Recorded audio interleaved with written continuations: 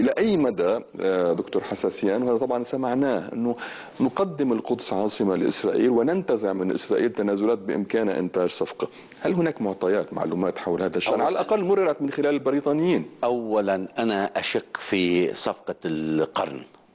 صفقة القرن أصبحت واضحة بأن هذا الرئيس ترامب يريد حل القضية الفلسطينية على حساب الشعب الفلسطيني.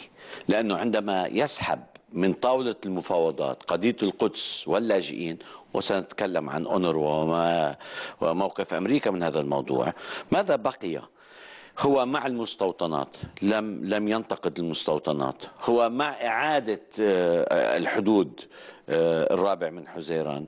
ماذا نتكلم؟ ماذا يتكلم ترامب عن صفقة ال- العصر ماذا ماذا بقي من صفقة العصر يعني هناك رواية هو سحب سحب كل هذه القضايا الأساسية والمحورية التي تعتبر ال- العصب الأساسي للتسوية السياسية مع الجانب الإسرائيلي بأن هذه محلولة بقرار أحادي الجانب من الولايات المتحدة أين التفاوض؟ تفاوض على ماذا؟ على حدود على مستوطنات على ماذا؟